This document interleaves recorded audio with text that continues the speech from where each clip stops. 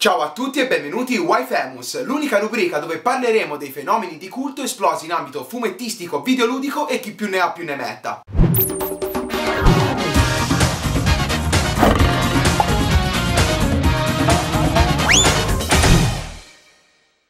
Questa nuova rubrica vi dirò perché secondo me un determinato prodotto ha sfondato rispetto ad altri e perché certi fenomeni sono diventati un vero e proprio emblema nella cultura pop di tutto il mondo, nel bene e nel male. Infatti certe cose diventano famose per mode passeggere o per manovre di marketing serrate. Spesso invece il prodotto è effettivamente di qualità ed è riuscito a lasciare un marchio indelebile nei nostri cuori. Oggi parliamo di videogiochi ed in particolare del testimonial per eccellenza della Nintendo, nonché portavoce del mio genere videoludico ludico preferito, ovvero il platform. Stiamo parlando ovviamente di Super Mario. Quest'oggi a parlare con me dell'idraulico buzzone ci sarà un ospite d'eccezione, che proprio come me ama i platform vecchio stile ed in particolare i giochi belli, ovvero Marco Merrino. Lascio a lui la parola per introdurre l'argomento. Ehi hey ragazzi! Nel corso della storia siamo stati abituati a tantissimi tipi di platform. Abbiamo avuto i livelli super veloci di Sonic the Hedgehog, psichedelici e coloratissimi. I livelli intricati e pieni di passaggi segreti di Alex Kidd, Super Frog e la famiglia Adams. Schemi originali e pieni di inventiva di giochi un po' più di nicchia come Spirou, i Puffi e Vectorman, la fantastica gola profonda di Kirby, la passione per la banana di Donkey Kong, il leggendario Castle of Illusion di Topolino, l'aria scherzosa energia di Banjo e Kazooie, i livelli a tunnel e l'atmosfera tiki di Crash Bandicoot. E poi se avevamo Crash non ci facevamo mancare anche Spyro, mondi vastissimi ed esplorabili in lungo e largo alla ricerca degli oggetti utili al completamento del gioco. I mille mila gadget di Ratchet Clank, il sistema free roaming di Jack and Dexter, Rayman che è riesploso adesso con Origins e Legends, uno più bello dell'altro. Allora bimbi, diciamocela tutta, di platform ne abbiamo visti veramente tanti, ma questi personaggi più o meno famosi devono tutto a lui, alla leggenda, al precursore dei platform fatti con i controcazzi, ovvero al suscitato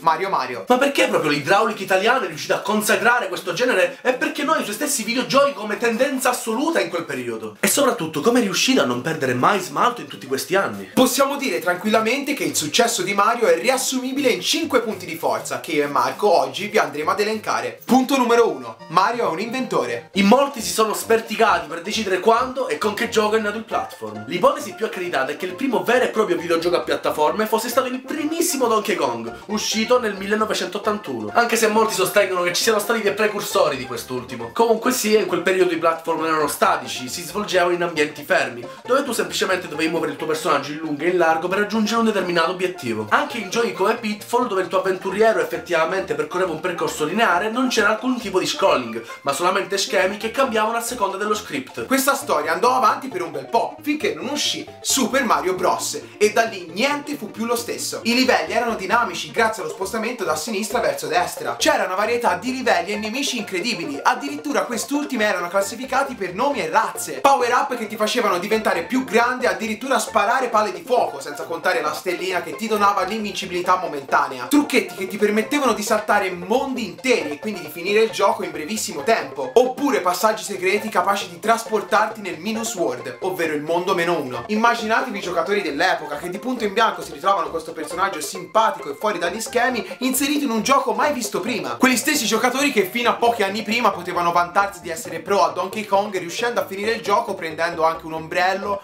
un vatere una specie di piatto di zuppa.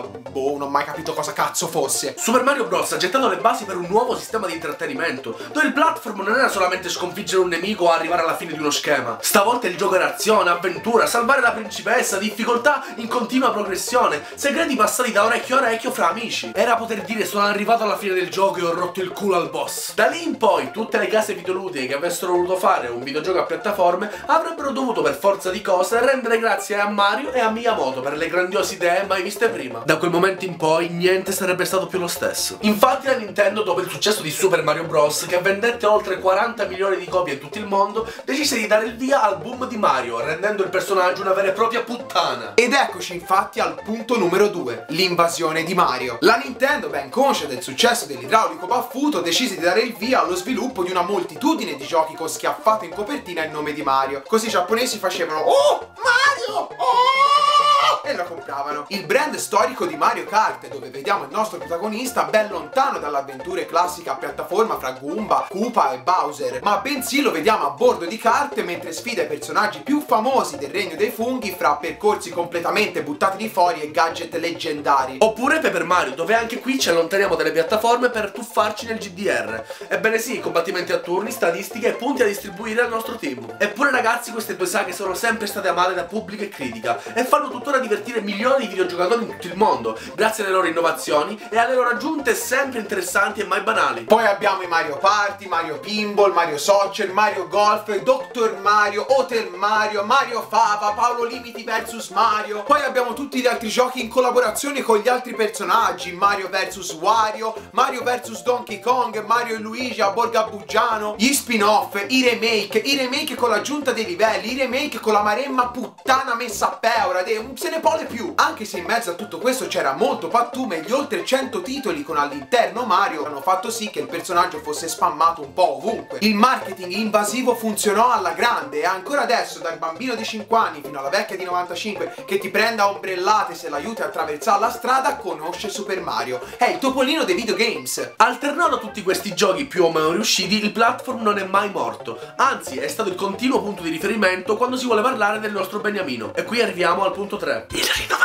さんって。I giochi della saga principale di Super Mario sono sempre stati una sorpresa, perché anche se le meccaniche erano simili, non si è mai percepito un senso di già visto. In ogni titolo a due dimensioni venivano aggiunte importanti novità, che implementavano valore al gioco facendo evolvere il brand passo passo. L'introduzione di nuovi power-up che trasformavano il personaggio in qualcosa di mai visto. L'aggiunta di Yoshi in Super Mario World che si poteva cavalcare per andare più veloce o semplicemente per mangiare i nemici davanti a noi. Addirittura a seconda del guscio che ingoiava poteva sputare fuori un'arma diversa. La grafica che migliorava di anno in anno permetteva di avere livelli sempre più colorati e curati nei minimi dettagli, fino ad arrivare a suddividere il mondo di gioco in zone ben precise e caratteristiche, con conseguenti ornamenti e decorazioni. Mario arrivò addirittura sul Game Boy con la serie Super Mario Land, dove ci trovavamo a percorrere zone realmente esistenti nel nostro pianeta, come l'isola di Pasqua all'antico Egitto. I duelli in volo, nuovi boss come i figli di Bowser, nuove razze di nemici, dei livelli dilazionati in una mappa ripercorribile a nostro piacimento, livelli sbloccabili tramite pulsanti nascostissimi o tramite vie segrete che svelavano nuove zone nella suddetta mappa. I livelli intrippanti all'interno del castello De Bo dove dovevi girare come un coglione per mezz'ora alla ricerca della porta giusta da aprire per levarti finalmente di culo. E molto molto molto altro. Diciamo pure che Mario fin da quando è stato in 2D dal NES fino ai giorni d'oggi con i recentissimi capitoli per i Wii U ha sempre cercato di proporre novità e raramente ha deluso i fan. Anche se io e Marco siamo rimasti delusi dalla troppa semplicità di New Super Mario Bros 2 e poi soprattutto da quella merda di Super Mario Bros 2. Una scopiazzatura di un gioco famosissimo in Giappone chiamato Dogi Dogi Panic semplicemente con i personaggi del mondo di Super Mario. Quando gioco a un platform con protagonista un idraulico ciccione, io voglio mangiare funghi, schiacciare Goomba, bruciarmi almeno 20 livelli a botta. Io non voglio coltivare e lanciare rape come un coglione in un ambiente spoglio e morto. E sapete qual è la cosa bella? Che questa merda è arrivata solo qui in occidente.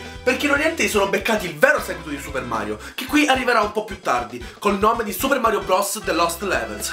Ma vaffanculo! E a proposito di cambiamenti sostanziali, il brand dello Stura Chassis ha fra i suoi vanti quello di essere sopravvissuto e non solo, quello di essersi migliorato con il passaggio da 2D a 3D. Molti brand, non solo platform, con questo cambiamento si sono andati a sputtanare in maniera incredibile, perdendo quella magia che li contraddistingueva in 2D. E se proprio volete degli esempi di saghe platform che si sono andate a sputtanare, basti pensare a quella di Mega Man o Sonic. La nostra cara icona baffuta, come se già avesse nuotato in un contesto 3D da anni, rinasce con Super Mario 64. Esatto, esatto, uno dei tanti titoli ad aver marchiato nel culo il numero 64 per sottolineare la potenza grafica della nuova console, ma uno dei pochi giochi ad essere motivo di milioni di vendite di quest'ultima. Non si trattava più di giostre, due salti in un universo che si può spostare o solamente a sinistra o solamente a destra. Qui la libertà di movimento doveva vedersela con un nuovo termine, open world. E cazzo se c'è riuscita. Super Mario 64 vanta un sistema di movimento e controllo fra i più fluidi che si possano trovare in un contesto 3D. Grazie al controllo analogico, infatti, ogni azione del carro idraulico, corse, capriole, salti, diventa intuitiva e cola fuori dal joypad come se fosse burro.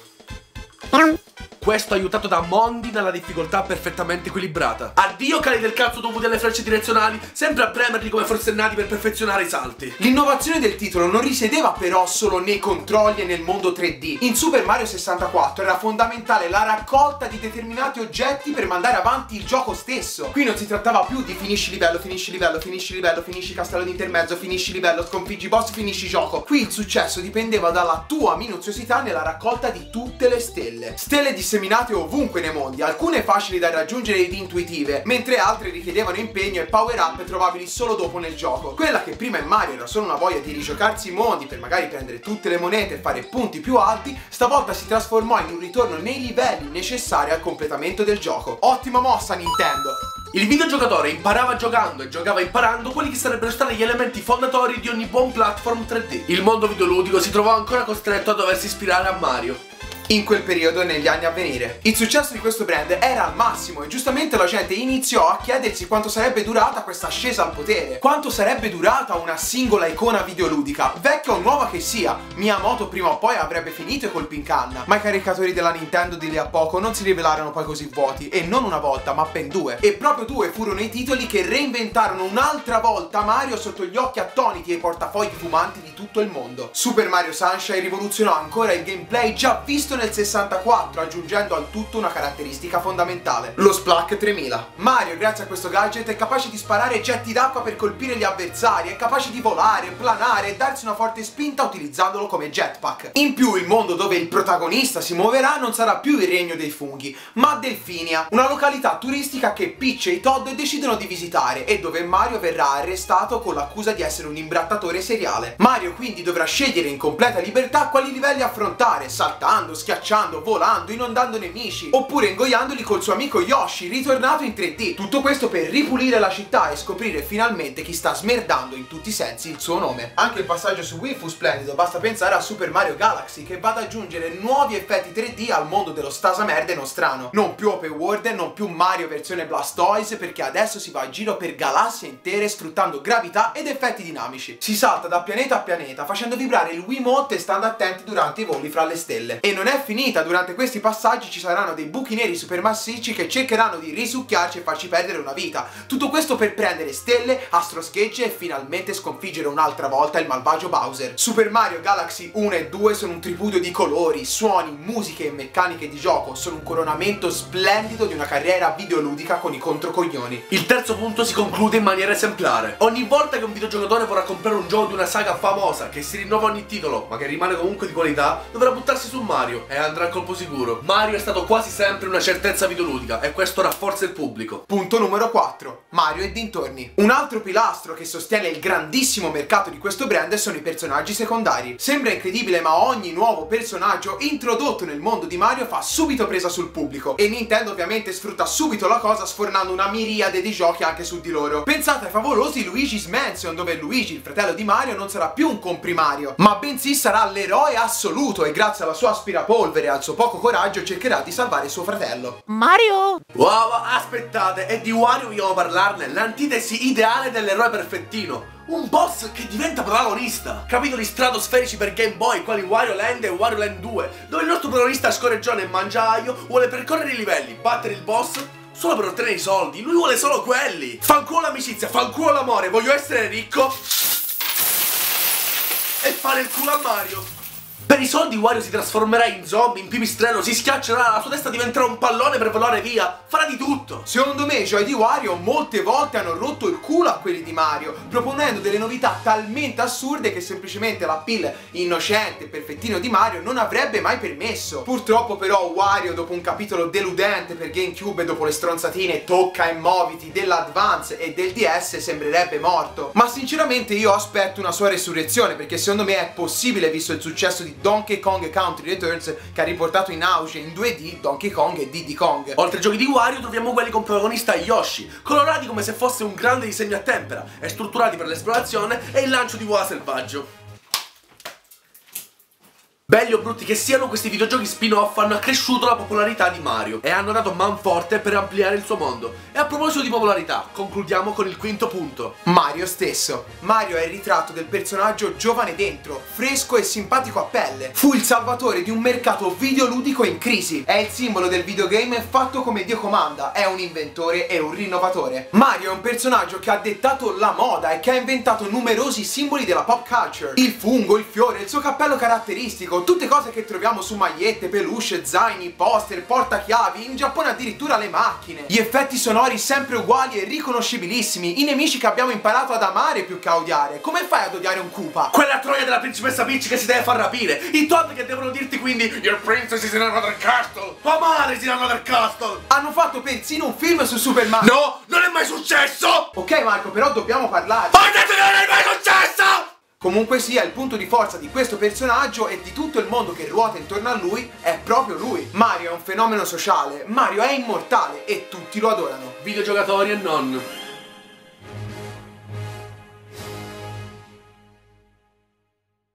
Allora bimbi, la prima puntata di Why Famous si conclude qui. È un esperimento e quindi se vi è piaciuta mettete mi piace, condividetela su ogni social network possibile e insomma sostenetela come potete. Un'altra cosa molto importante, qui si parlerà di fenomeni come abbiamo detto all'inizio negativi e positivi, quindi potete chiedermi di parlare di qualsiasi cosa. Come fare però? Andate sulla mia pagina Facebook che trovate qui sotto nel link in descrizione e partecipate al sondaggione della seconda puntata di Why Famous. Potete inserire la vostra possibilità o votare quelle che ci sono già, oppure su Twitter Twitter aggiungete l'hashtag WhyFamous e scrivete cosa vorreste vedere. L'argomento che avrà preso più voti sarà trattato nella prossima puntata. La puntata finisce qui, un bacione dal vostro amico Dario Moccia.